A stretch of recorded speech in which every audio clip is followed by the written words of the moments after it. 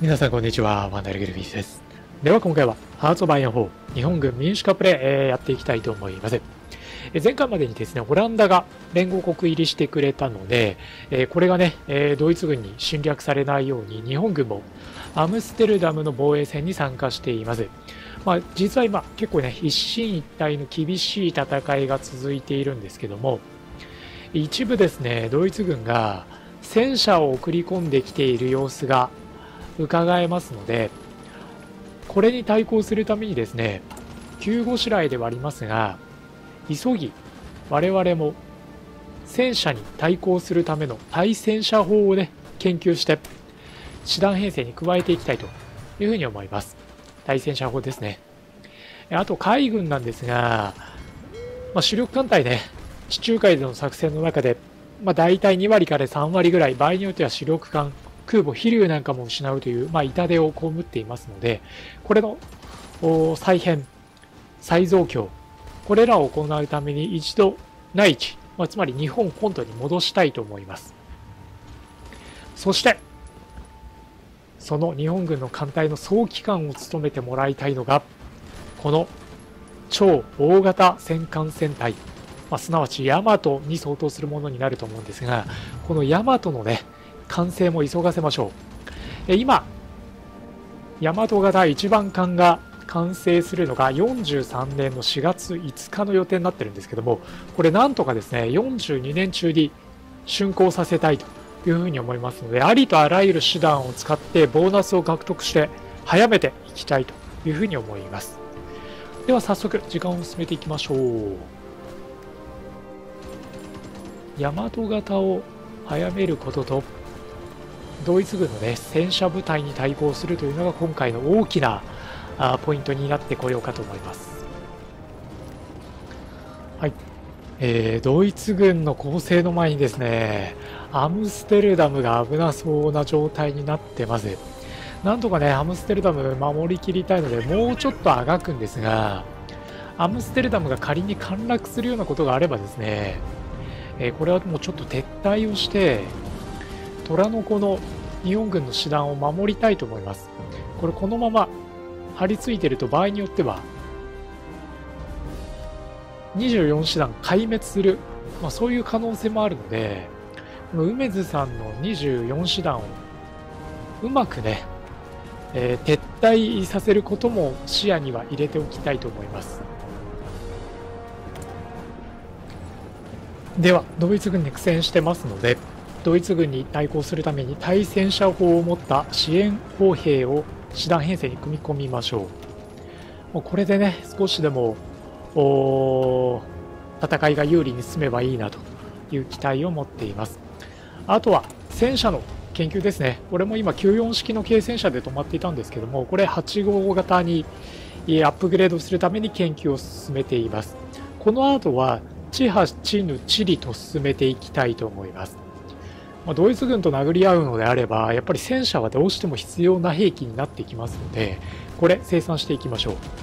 で、重戦車、9号式から始まる重戦車に関しては放置します。ちょうど今、オランダ、アムステルダム、ここの攻防戦になってますね。ここをなんとかしのげないと、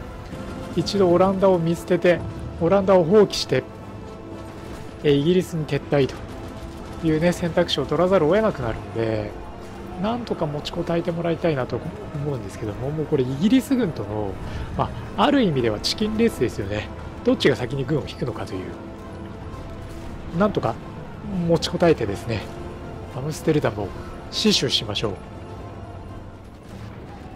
で陸軍の指揮系統なんですけども、小磯さんを元帥に昇格させて小磯さんがね、えー、全ての陸軍の師団を指揮下に置くという、まあ、そういう指揮系統に変更しています。梅津さんは相変わらずオランダで頑張ってもらっていますね。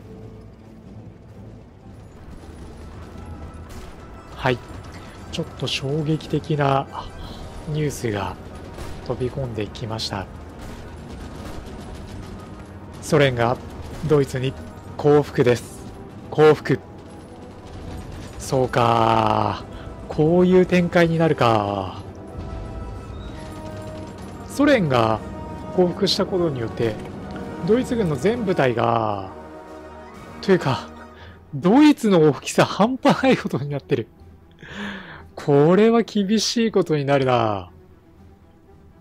これがドイツですね。アメリカが参戦してくれないと本当にちょっと厳しいものになってきたな。もうカラフトがね、ドイツと国境を接してるような状態になってますし、もっと言うと、いつ日本が強襲上陸を受けてもおかしくない状態になりましたね。海軍出動させましょう。少し部隊、海隊の編成を見直して、まず山本五十六さんのところには心臓空母、え、これをね、えー、一隻入れています。まあ、どこまでの力があるかというと、まあ、昇格型なんで、あんまり大きな空母ではない、まあ、いわゆる中型の空母に相当するものになりますけども、この空母を展開させておきましょう。思ったより事態が